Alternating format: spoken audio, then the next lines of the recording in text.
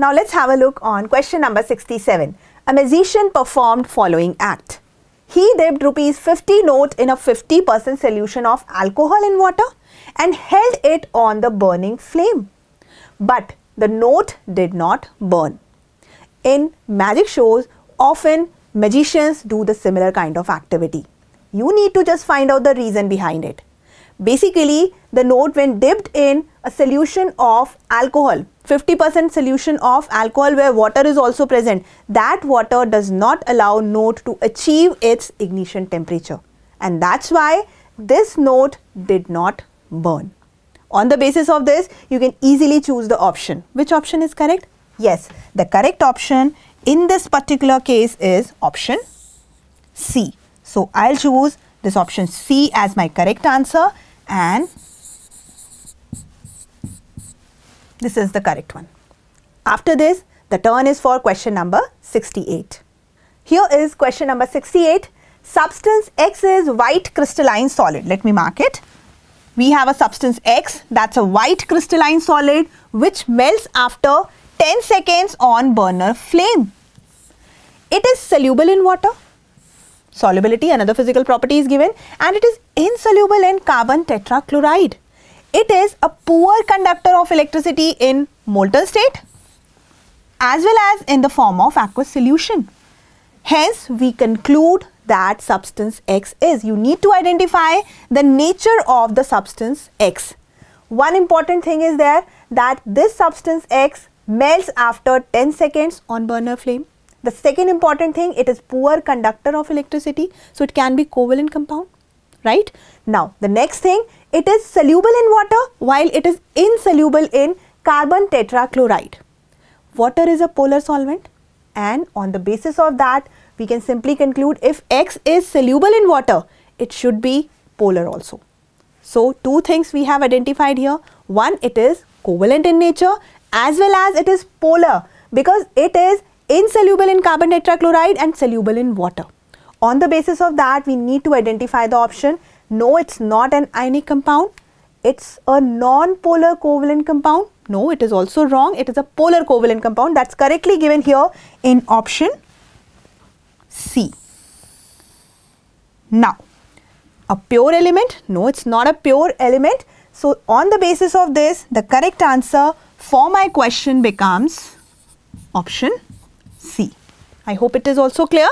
Now, the turn is for the next question. Now, here is question number 69. In a beaker, 50 ml of normal HCl solution is there. Let me mark it. 50 ml of normal HCl solution was taken and ammonia was passed through it for some time.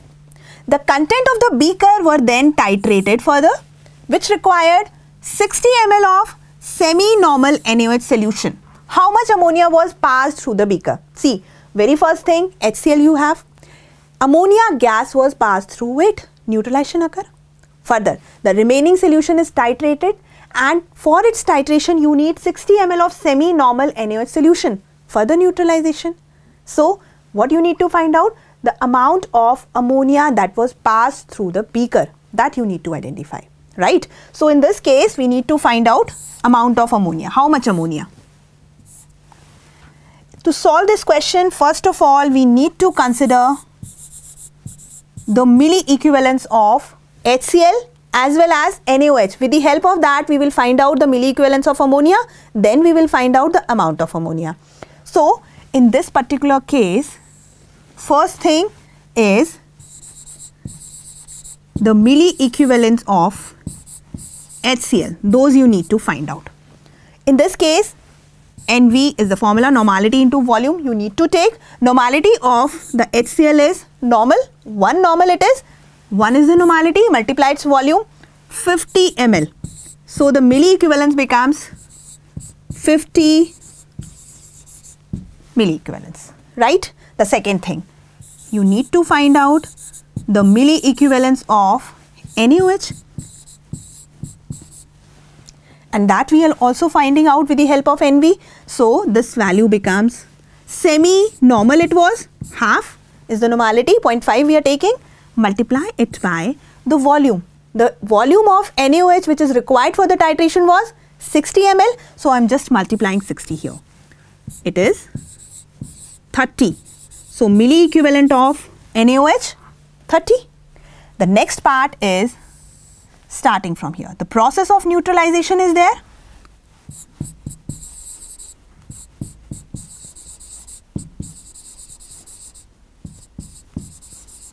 This is the process that's going on. Here should be the milli equivalence of HCl should be equal to the sum of the milli equivalence of ammonia plus the milli equivalence of NaOH that you are using for the titration process, right? This value we already have. What's that value? This is 50. That is equal to milli equivalence of ammonia plus 30. 30 is the milli equivalence of NaOH. So, very simple. We found that the milli equivalents of ammonia are 50 minus 30, 20. Now, with the help of this, we can find out the moles of ammonia and with the help of moles of ammonia, we can find out the amount of ammonia also. Let's find out.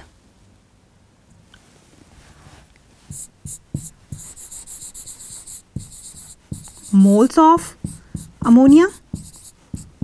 This is milli equivalent. So, equivalents would be 20 into 10 raised to the power minus 3 moles. And what would be the mass of ammonia? That's the final answer. What is the molar mass of ammonia? 17 grams per mole. So, just multiply 20 into 10 raised to the power minus 3 multiply 17 to it this way so this becomes 0.34 gram. Is it clear? Now let's check where this value is given.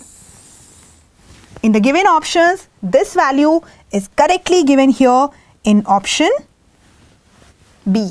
So just mark it to get the correct answer. I hope this question is clear. Now, Let's take the next question.